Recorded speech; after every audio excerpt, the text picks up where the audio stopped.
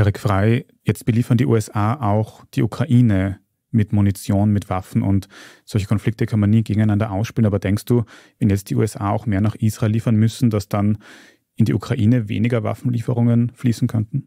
Also an sich hat Israel selbst schon eine sehr starke Waffenindustrie und ist für die Großteil seiner militärischen Ausrüstung jetzt nicht an den USA abhängig. Es gibt bestimmte technologischen Sachen, die auch aus den USA kommen. Die Kooperation ist sehr eng.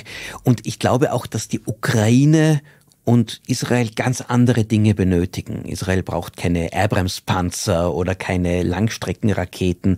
Es geht da eher um echte Hochtechnologie und vor allem das Iron Dome System, das möglicherweise wieder aufbauen muss.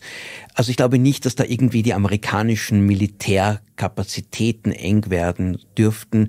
Es könnte aber bisschen politisch zum Problem werden, wenn die Bedürfnisse von Verbündeten gleichzeitig sehr hoch sind, dass dann der Widerstand in den USA für das amerikanische auch Gelder und militärische Unterstützung da nicht im Land bleibt, sondern anderswohin fließt und vielleicht nicht gegen einen Feind wie China eingesetzt wird. Das ist auch noch so ein Szenario. Was ist, wenn es zu einer Verschärfung rund um Taiwan gleichzeitig kommt, dass dann manche sagen, Moment einmal, da müssen wir irgendwo zurückfahren.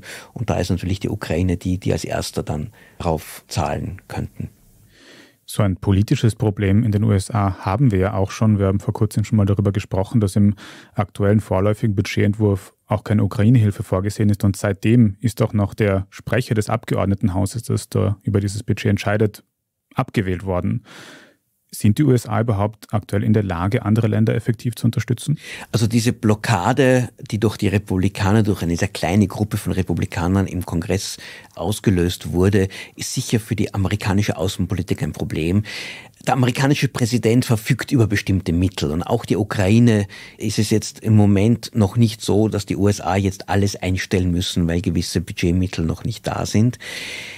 Es könnte auch sein, dass jetzt dieser Krieg in Israel vielleicht der Ukraine indirekt hilft, weil die gleichen rechtsextremen Abgeordneten, die sagen, die USA sollen aufhören, die Ukraine gegen Putin zu unterstützen.